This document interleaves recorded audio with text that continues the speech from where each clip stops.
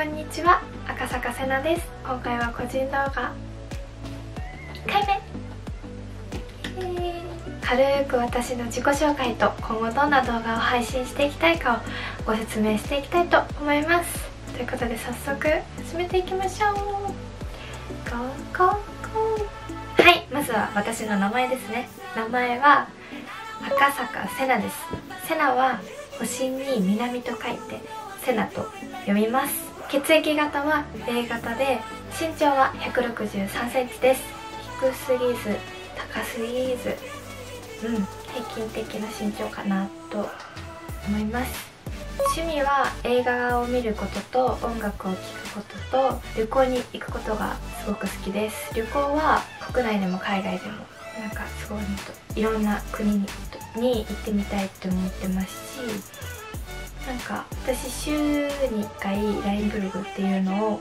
書いてるんですけどそこにも「ハッシュタグ赤坂旅」っていうのをつけて旅に行った様子とかをレポートしたりしてるのでブログでは伝えきれないこ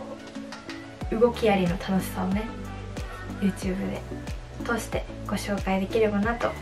思います。特技は特技うん一応小学生から9年間やっていたバドミントンは人並みにはできます。すっごい私運動音痴で。走れない泳げない飛べないの3拍子を揃ってるんですけどうん唯一バドミントンは人並みにできます。あとは野球知識検定っていうのを持ってるんですけどちょっとね1級1級まではまだ程遠いんですけど1級取れるように頑張って日々勉強しています。私自身の性格は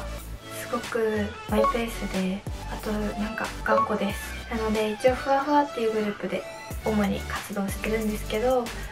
ふわふわの中では私が最年長なのでしっかりしなきゃと思って頑張っております。最後にですね今後私がどんな動画を配信していきたいかということなんですけどカラス。